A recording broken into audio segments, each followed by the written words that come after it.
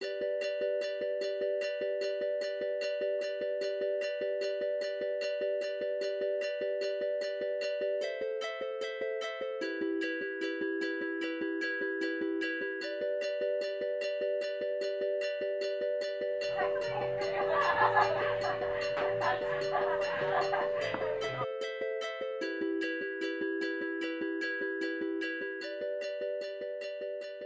guys, it's Sierra and my roommate, or my flatmate, Alanie, and it is August the 10th.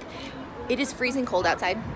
We got what is an Arctic blast, and at first I laughed. I was like, nah, Arctic blast, and then I realized we're actually in Australia, and Arctic blasts happen. So we're currently waiting for the M20 bus coming up.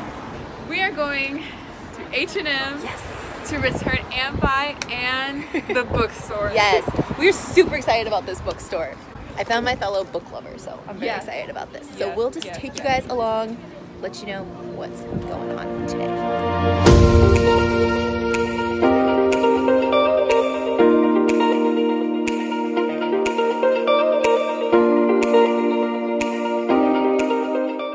We made it despite the wind.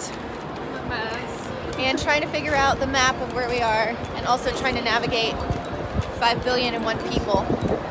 So we made it to the Westfield Shopping Center. Kind of like a little piece of home. Did you have a Westfield Yeah. in your I did. Texas? Yeah. Okay. So we had a Westfield in Palm Springs as well. But we made it. Went through H&M, went through Zara, typical places.